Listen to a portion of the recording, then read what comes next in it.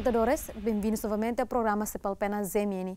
Como já sabemos, este programa tem como objetivo apresentar-vos as últimas informações ocorridas da comunidade dos países de língua portuguesa.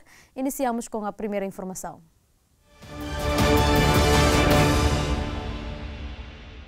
A Escola Portuguesa de Dili assegura a partir do dia 14 de abril o ensino não presencial para todos os alunos. Apesar de terem regressado cerca de 40 professores a Portugal, a escola tem ainda alguns professores para garantir a realização de aprendizagem. Passados que foram 30 dias da catástrofe de 13 de março, há alguns esclarecimentos neste início do terceiro período. Reitero o agradecimento a todos os envolvidos que possibilitaram a recuperação do espaço físico da Escola Portuguesa de Dili. É do conhecimento geral que cerca de 40 docentes optaram pelo regresso temporário a Portugal.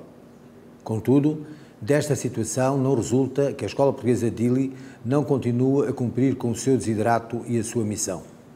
A partir do dia 14 de abril, o ensino não presencial será assegurado a todas as nossas crianças e alunos. Temos uma equipa de professores na escola disponível para prestar todos os esclarecimentos devidos à realização das aprendizagens. Outros partindo de plataformas digitais, prestarão o seu serviço a partir de Portugal. Asseguramos deste modo que não existirá um hiato nas aprendizagens a todas as nossas crianças e alunos do pré-escolar ao 12º ano. O que fizemos? Quanto aos aspectos materiais, temos limpo o interior da escola e o acesso da porta principal. Já concluímos a limpeza dos materiais didáticos e pedagógicos. Já efetuamos a limpeza de mobiliário em estado de ser aproveitado concluímos o inventário dos vários departamentos curriculares e na área administrativa.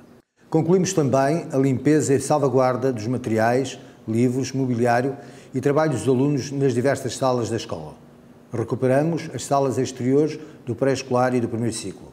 Efetuamos a limpeza da restante área do campo de jogos e da área circundante das salas da educação pré-escolar e do primeiro ciclo. Recuperamos, substituímos toda a rede elétrica da escola Recuperamos, substituímos toda a maquinaria das redes de esgotos e água deterioradas. Reconstruímos de forma provisória os muros de limitação da escola. Substituímos louças e portas dos vários espaços. Estamos a concluir tudo o que se relaciona com os acabamentos e pinturas dos espaços da escola. Mas ainda falta fazer a construção definitiva do muro de delimitação da escola. Quanto aos aspectos pedagógicos, o que já fizemos? Salvaguardamos tudo o que se relaciona com o histórico dos alunos. Isto tem muito a ver com a escolha de gestionária na aquisição de servidor com capacidade de fazer backups. Mantemos o processo de inscrição via internet para as diversas provas.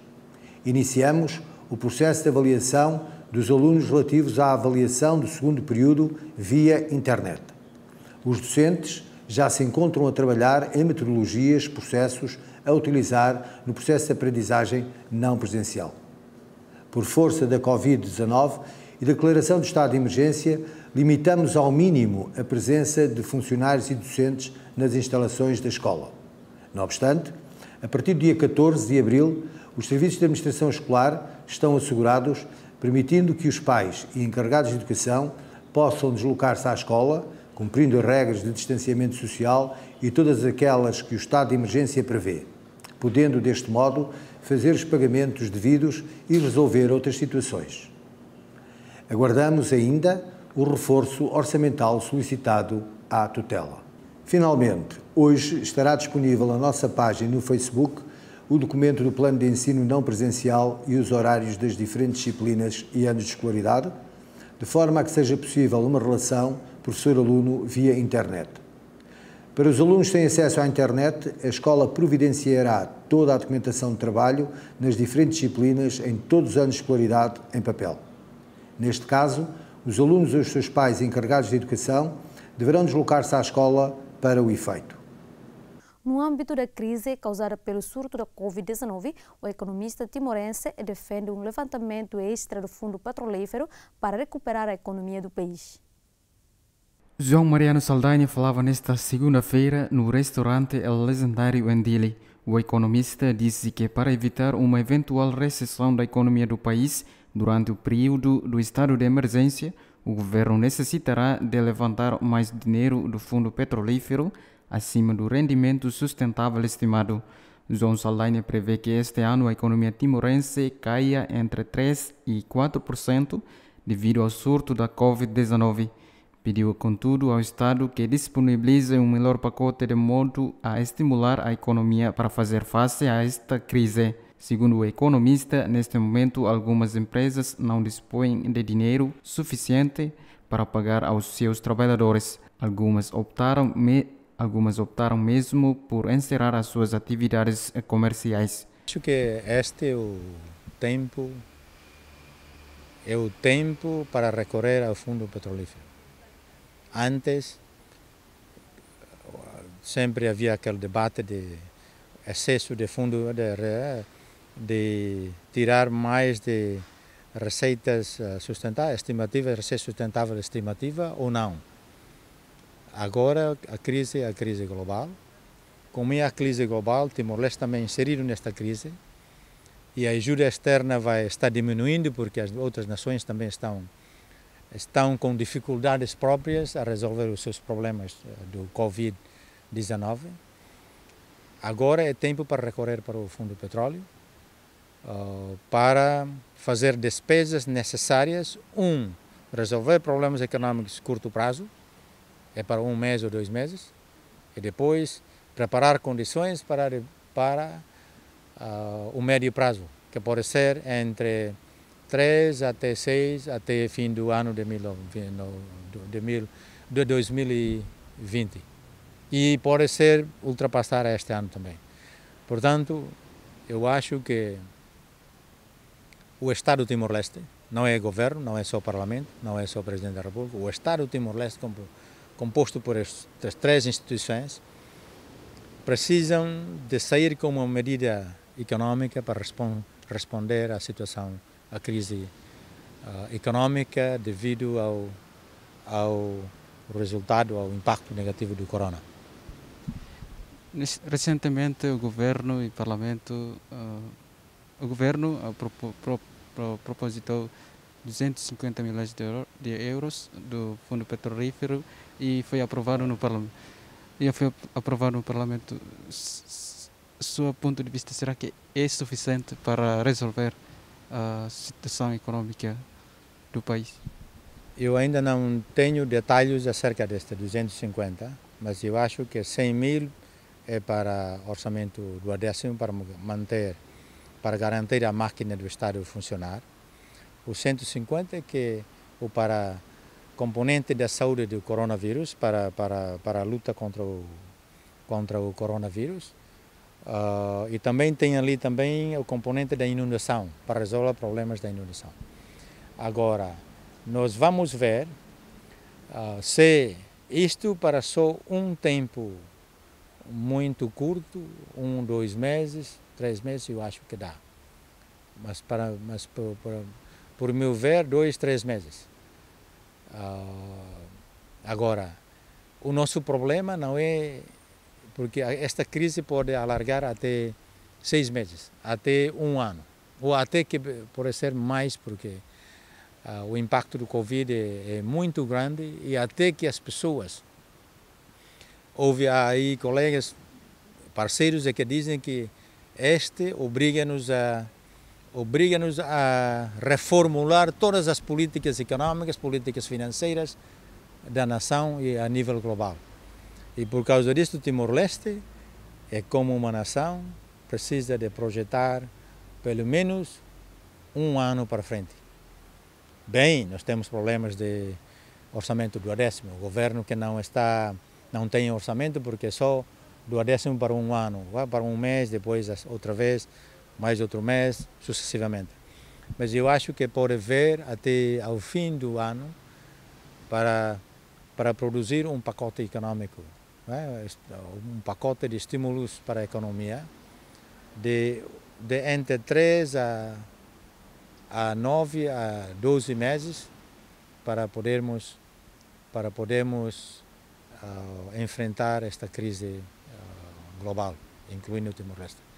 E todas as políticas econômicas que nós vamos produzir têm que ser virado para a produção local, produções domésticas. Isto é, produção de produção de De quê? Produção de arroz, produção de máscaras, produção de outras produções que não podemos, que vai haver problemas da importação do mundo, das outras nações. Nós teremos que produzir coisas que nós podemos produzir. Se não conseguimos produzir, fazer o Estado de Timor-Leste tem que dar um incentivo ao setor privado de Timor-Leste para produzir, ao público de Timor-Leste para produzir. Esta é, é, é a oportunidade. Temos dificuldades também, mas também há oportunidade para o setor privado nacional uh, avançar, avançar juntamente com os estímulos da incentivo do, do setor público. Recorda-se que no dia 2 de abril o Parlamento Nacional aprovou por unanimidade a proposta do Executivo para o levantamento do fundo no valor de 250 milhões de dólares. Este montante, segundo o governo, tem por objetivo reforçar a tesouraria do Estado, assim como dar resposta às inundações e ao surto da Covid-19. Este pedido viria a ser promulgado pelo Presidente da República no passado dia 7 de abril. A lei do Fundo Petrolífero estipula que o governo não pode efetuar o levantamento de dinheiro do fundo acima dos 3%. Cidadãos retidos em Luanda devido ao estado de emergência vencem abraços para regressar às províncias de origem. Queixam-se da falta de transporte e do aumento dos preços. O governo angolano decidiu levantar a cerca sanitária para possibilitar que os cidadãos retidos em Luanda desde o início do estado de emergência, há 15 dias, regressem às suas províncias de origem, antes do prolongamento das medidas por mais 15 dias devido à Covid-19. As enchentes anormais nos terminais de transportes rodoviários no sábado e no domingo levaram a que o executivo desse um dia extra para as viagens mas a falta de transportes e os preços impedem o regresso de todos. Sábado estava mesmo difícil e complicado. Tive notícia no sábado. Primeiro é que os táxis estavam difíceis e depois os, os pressários, o preço estipulado estava muito alto. Então não pude, não consegui mesmo, regressei para casa. Ontem vim para aqui, também não consegui. Quando eram 12 horas, cancelaram os transportes. Voltei novamente para casa. Até que ontem vi o telejornal e anunciaram que deram mais, anunciaram que deram mais um dia, mais uma exceção para os que não conseguiram viajar. Por isso cá estou novamente. O governo, os dias que ele nos deu são pouco. Depois daquele ainda tem muita população. Até agora, as pessoas só sabiam que o dia era ontem. Era ontem. O último dia era ontem, agora hoje. Já não tem mais, já não tem táxi. Estamos aqui à espera desde manhã, não há táxi. De princípio é que não há, não há uma resposta suficiente, ou seja, os transportes estão muito escassos. Há poucos transportes e, de um outro lado, estão a cobrar muito caro mesmo. Não temos essas condições criadas. Somos estudantes, muitos de nós viemos aqui por questões de óbito, doença, enfim estamos incapacitados para pagar essa passagem. Os autocarros seguem rigorosamente as medidas do estado de emergência, como lotação reduzida a metade dos passageiros e controlo de higienização, mas o problema reside na disponibilidade de recursos e meios. Nós temos uma complicação. Qual é a complicação? É que os, os motoristas que vivem aqui em Luanda, eles já não querem arriscar para o AMBO. Por quê? Porque se chegarem lá 23h50, 23 horas, não vão conseguir voltar, porque lá não tem família. Então estão a preferir não viajar. Agora, os que estão a viajar são aqueles, aqueles motoristas que vivem aqui, que vivem lá no Ambo, é que estão a partir daqui para lá. E são a maioria. E nesse momento também não querem arriscar voltar. Não querem arriscar, porque também se terminar aqui o dia não tem como regressar na sua respectiva província. Então preferiram não arriscar. Se fosse, por exemplo, o Estado prorrogar mais dois dias, então temos como de, de, despachar os passageiros 95%. Angola, que comprou hoje o terceiro dia da extensão de mais 15 dias de estado de emergência, conta com 19 casos positivos da Covid-19, entre os quais 13 ativos, dois óbitos e dois recuperados. O novo coronavírus já provocou mais de 114 mil mortos e infectou mais de 1,8 milhões de pessoas em 193 países e territórios. No Brasil, o primeiro caso de Covid-19 foi confirmado a 25 de fevereiro. Hoje são mais de 300 os casos confirmados. A primeira morte causada pelo vírus aconteceu nesta terça-feira em São Paulo. O presidente Jair Bolsonaro minimizou até agora a pandemia. No entanto, governadores e autarcas das cidades atingidas começaram a tomar medidas para evitar a aglomeração de pessoas. É o caso do Rio de Janeiro, a segunda cidade com mais casos. Um carro de bombeiros circula na orla de Copacabana tentando consciencializar a população sobre os riscos de aglomeração de pessoas. Por enquanto, as autoridades locais recomendam às pessoas que evitem as idas à praia. No entanto, é visível a aglomeração de pessoas nas praias, ignorando os avisos das autoridades. Muito, bastante. Eu acho que tá, o mercado está abusando porque deveria ter muito menos gente, né? Eu realmente a gente tem medo, né? Porque infelizmente a gente não sabe quem, quem tem contaminação, quem não deixa de ter.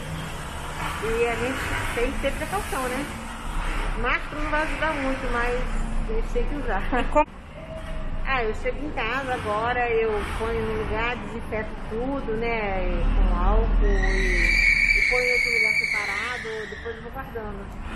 Mas normalmente eu prefiro vir sozinha até do que vir com alguém.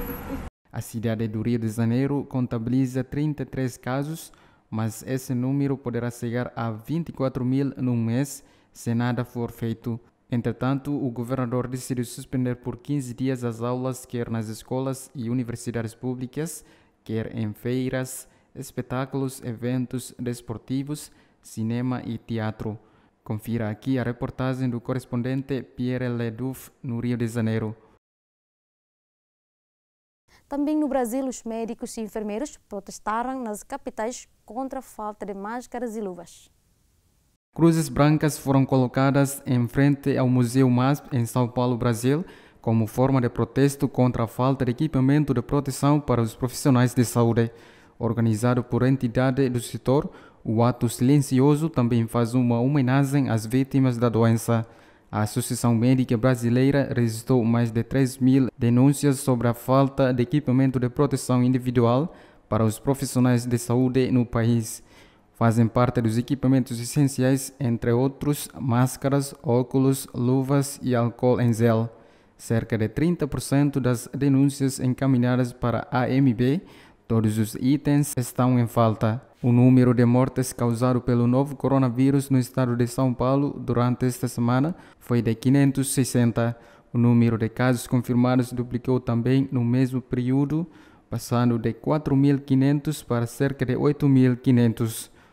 A Covid-19 já teve pelo menos uma vítima fatal em 61 municípios do estado e, no mínimo, um caso confirmado em 160 cidades paulistas. Das 560 mortes provocadas pela doença até o momento, 322 são homens e 238 mulheres. Os casos críticos continuam a atingir os pacientes com 60 anos ou mais anos, totalizando 82% das mortes. Já a maioria dos infectados é jovem, com idade entre 30 e 39 anos. O estado de São Paulo tem agora 41% das confirmações da doença no Brasil o segundo local mais afetado no país. O governador do Rio de Janeiro considerou que o presidente brasileiro pode ser confrontado com o processo de destituição ou responder em tribunal. O motivo prende-se com o facto de ter defendido o fim do isolamento social. Desde que nós começamos a realizar a restrição da circulação das pessoas no dia 13 de março, a nossa curva está se comportando de forma achatada. Apesar de todos os esforços que nós estamos fazendo para que as pessoas fiquem em casa, só saiam para realizar atividades estritamente necessárias, há uma diferença de orientação dos governadores dos estados com o presidente da República. E isso tem dificultado muito, há uma é, diferença de tratamento entre aquilo que pensa o ministro da Saúde e o presidente da República. E isso pode estar incentivando as pessoas a irem para a rua, o que para nós é muito preocupante, porque não temos testes suficientes para fazer nessas pessoas. Não estamos ainda com todas as unidades prontas para enfrentar uma demanda maior de pacientes para o, os hospitais e, CTI, e, os centros de tratamento intensivo. O comportamento de um chefe de Estado né, que não se adequa às orientações da Organização Mundial da Saúde pode ter repercussões internacionais. Né. O Tratado de Roma estabelece é, um dos seus artigos, o crime é, contra a humanidade, causar sofrimento, causar mal à integridade física das pessoas. E já há uma denúncia no Tribunal Penal Internacional e isso pode ser uma consequência da conduta é, que não observa as determinações da Organização Mundial da Saúde. É preciso que o presidente tenha é, a noção clara de que aquilo que ele fala é, pode ter repercussões é, políticas para ele e, eventualmente, caracterizar um crime de responsabilidade. É, eu não sou psiquiatra, não sou psicólogo e, mesmo quando era juiz, para poder dizer se uma pessoa é, tinha capacidade de entender o caráter delituoso do fato, eu precisava, precisava submeter essa pessoa a uma avaliação é, do profissional adequado. Então eu não posso é, avaliar se o presidente tem problemas psiquiátricos ou não, porque eu não sou profissional qualificado para isso. Uma das hipóteses é um processo penal no Supremo Tribunal Federal que se avalie né, a inimputabilidade do presidente. Mas, mas digo, é, não posso fazer essa avaliação. O que eu digo é que ele está na contramão da história que nós estamos vivendo. O que ele deveria estar fazendo é isso, é buscando comprar os testes, buscando comprar os equipamentos, atender os estados com é, recursos materiais, é, fazer a, a gestão junto ao Ministério da Economia para poder suprir as perdas dos estados.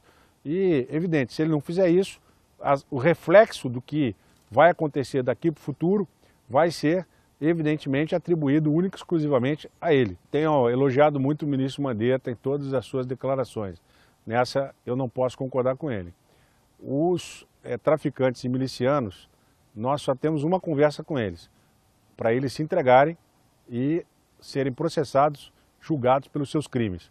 As comunidades, elas têm uma realidade que talvez o ministro desconheça, que são as associações de moradores, são as associações é, de pessoas que é, se conhecem na comunidade. O traficante não detém domínio sobre a comunidade, ele ocupa um espaço, ele fica escondido. As comunidades são muito grandes, né? tem comunidade com mais de 100 mil habitantes, então o traficante nem de longe ele tem é, domínio sobre aquela área.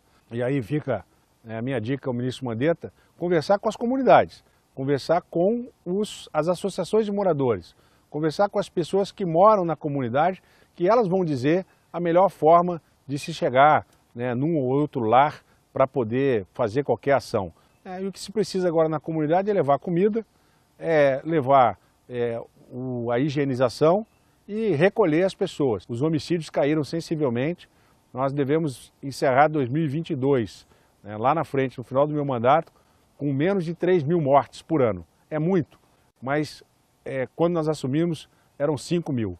Então mostra que nós estamos conseguindo obter resultados, prendendo traficantes, tirando armas das ruas e reduzindo a influência do tráfico nas pessoas mais jovens para dar um futuro melhor para elas. É uma ação conjunta da União, que muito maior para poder reduzir a criminalidade nos estados. Essa denúncia na OEA ela está completamente equivocada, não foi adiante e as pessoas que fizeram isso fizeram só com objetivo político e não fizeram com objetivo humanitário.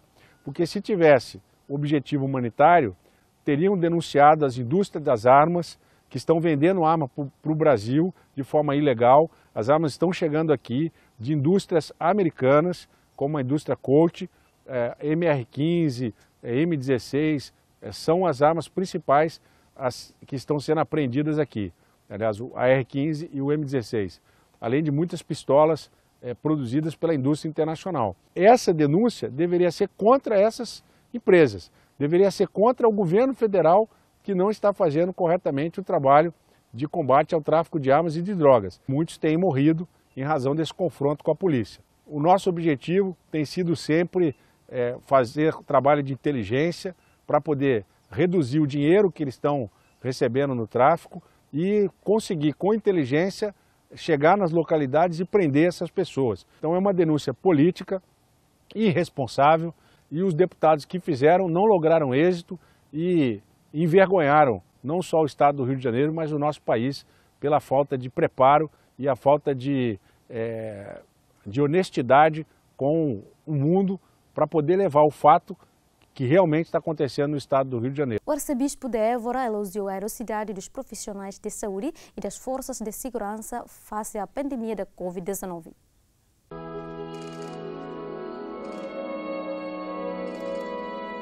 Face à pandemia da Covid-19, são agora as novas tecnologias que levam à casa dos fiéis as missas nas quais antes marcavam presença. E a Arquidiocese de Évora não é exceção. Transmitiu as celebrações religiosas da Páscoa em direto nas redes sociais, como aconteceu com a Eucaristia de hoje. Os números são muito consoladores. Eh, na linha dos vários milhares, sabemos, por exemplo, que ontem estiveram permanentemente conectados connosco durante a celebração seis centenas de pessoas e que estiveram a ver, a acompanhar, a rezar mais de sete mil. É uma forma diferente de nós eh, estarmos juntos. Eh, eu costumo assistir presencialmente. Este ano a situação é muito diferente. De qualquer forma, temos assistido em família, eh, através do Facebook, as várias celebrações diárias que têm sido transmitidas pela Arquidiocese. O arcebispo deixou um elogio especial aos que trabalham na linha da frente deste combate. Os heróis, médicos, enfermeiros, funcionários de hospitais, forças de segurança, paramédicos e bombeiros. Não esquecendo que, por vezes, têm tido falta de material. Mas sabemos todos que houve falta de equipamento. Houve muita falta de equipamento nos bombeiros. Houve muita falta de equipamento a tempo e horas eh, em serviços de assistência. Foi notícia, mas foi constatação, sobretudo, porque o arcebispo de Évora anda por aí pela diocese e aparece quando menos se espera. Houve, escuta e vê. E houve gente que pôs a vida em risco. Recado dado, esta Eucaristia de domingo de Páscoa ficou marcada pela subida do arcebispo ao ponto mais alto do terraço da igreja para abençoar a cidade e a arquidiocese. Eu quis dizer ao povo que ele está no meio de nós, que não estamos nem sozinhos, nem abandonados, nem a viver uma maldição, nem a viver um castigo. O Deus bom da Eucaristia está a abençoar cada pessoa para que cada pessoa se sinta amada e jamais rejeitada. Eu estava a assistir à celebração em casa e, eh, chegando ao fim da celebração, como eu sabia que o Sr. Arcebispo ia fazer a benção da cidade de Évora e da Arquidiocese de Évora eh, a partir daqui da varanda da Igreja de São Francisco, eu vi rapidamente para assistir no local a essa benção. Francisco Serra Coelho deixou ainda uma mensagem para os idosos sós que não puderam estar reunidos com as famílias. O encurtar das distâncias, disse, neste período de pandemia, também pode ser feito através da tecnologia. Um telefonema ou uma videochamada fazem toda a diferença. O cardeal patriarca de Lisboa disse que a Páscoa de Cristo é uma realidade total que se experimenta na prática da caridade. Preenchendo a humanidade que salvou, o ressuscitado refulge nestes dias, no olhar e nos gestos de muitíssimos que em todos os domínios da vida eclesial ou pública, da saúde ao trabalho e a tantos serviços indispensáveis na família e na sociedade em geral, respeitam e sustentam as vidas em todo o seu arco natural e face à pandemia que sofremos.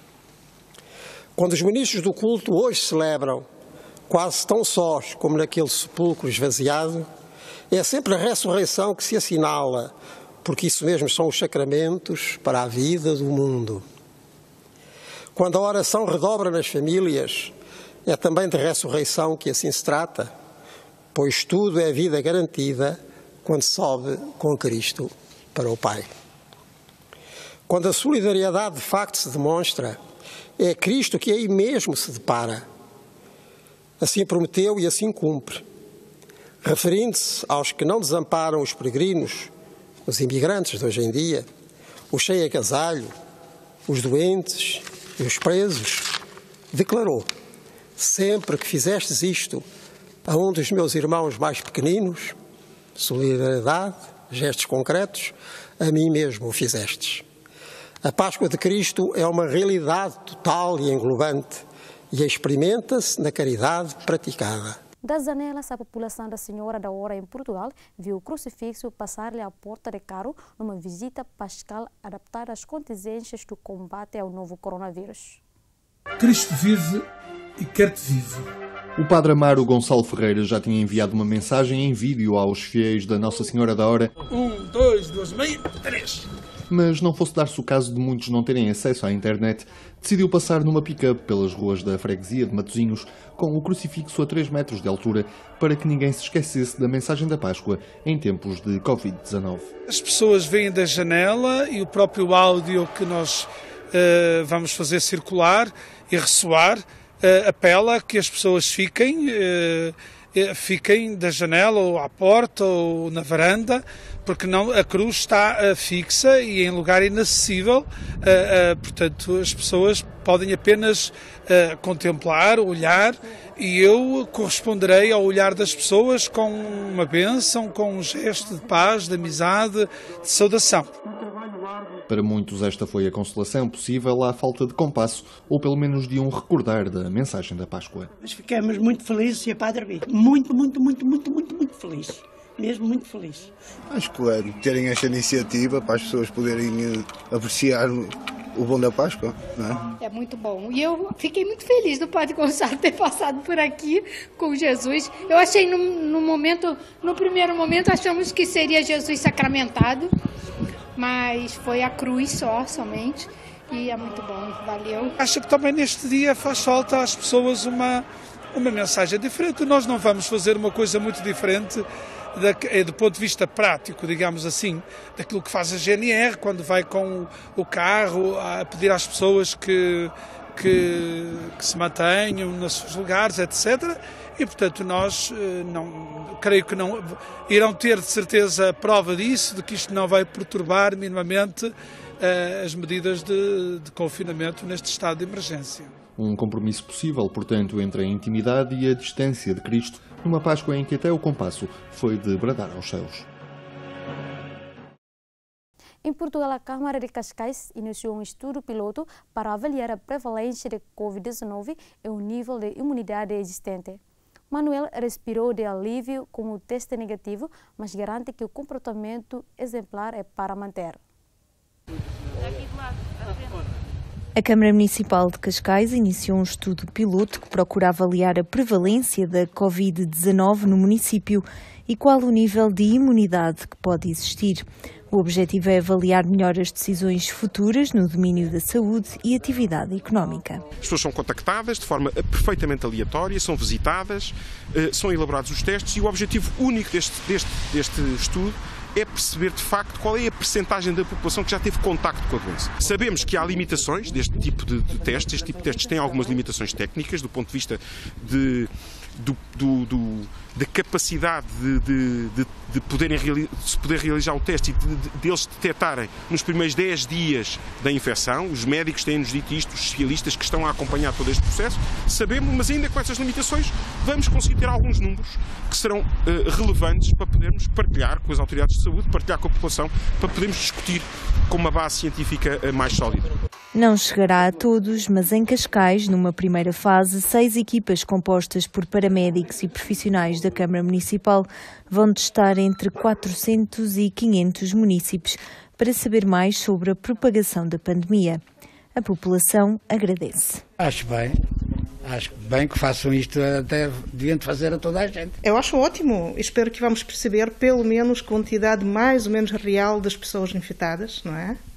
E acho que devíamos, sinceramente, fazer ainda mais testes. Eu percebo que não é fácil, não é? em termos financeiros, e talvez falta alguma coisa ainda, materiais, blá blá blá, mas todas as pessoas deviam fazer. Uh, acho que inovador é, é preciso estar à frente e, neste caso, faz toda a diferença uh, ter este tipo de iniciativas, uh, aleatório, extensivo, como for, porque os dados aqui são fundamentais para perceber o que é que se está a passar e tomar decisões em relação ao que está a acontecer. Os resultados negativos fazem muitos suspirar de alívio, mas não pensam em aliviar as medidas, já que a responsabilidade cívica continua a ser muito importante nesta fase. Deixa-me mais à vontade, mas não, não, não quer dizer que não, não continuo a fazer o mesmo que fazia. Vou continuar a fazer o mesmo, enquanto, não houver novas, novas ordens, não é? Estou muito contente, acho que estamos nós todos, porque fizemos mesmo uma quarentena muito rigorosa, tentamos, pelo menos, e acho que está a dar resultados. Acho que era preciso parar um bocadinho também, em termos de ritmo, e reavaliar um bocadinho a situação uh, que nós estamos a viver, uh, adaptarmos e... mas tem sido pacífico. No horizonte da Câmara de Cascais está já uma segunda vaga de testes que pode chegar às populações mais expostas, como lares de terceira idade, forças de segurança e profissionais de saúde. Mas o desejo é unânime: olhar positivamente para o futuro.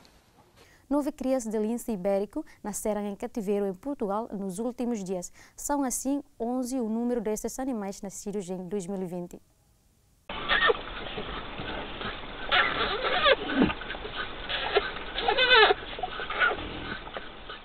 O Centro Nacional de Reprodução em Cativeiro de Lince Híbrico divulgou um comunicado sobre o nascimento destas crias de uma espécie que estava à beira da extinção. No dia 9 de abril, Fresa pariu a primeira das quatro crias que faz nascer em 2020. Fresa é uma das fêmeas fundadoras do centro e até a data pariu 20 crias, das quais 10 foram introduzidas na natureza. No dia 10 de abril, Zunzia iniciou um parto de três crias resultantes do seu emparelamento com Fresco, um macho nascido em 2009. Zazunzia, nascida em 2012, chegou ao centro em 2016, tendo produzido três crias em 2017, que foram introduzidas na natureza. No dia seguinte, Zuromena pariu duas crias, fruto do seu emparelamento com Madagascar. Zuromena é a primeira fêmea nascida igualmente no centro a parir dentro do programa de conservação. É também um dos dois primeiros indivíduos que foram criados artificialmente pela equipe técnica daquele organismo.